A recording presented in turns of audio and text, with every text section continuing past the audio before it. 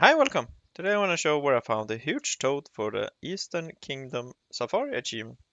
I found it located right here in the Swamp of Sorrows at the up upmost west corner, right there next to the cave. And yeah, uh, hopefully it was helpful. And thanks for watching, hope to enjoy, and have a nice day. Goodbye!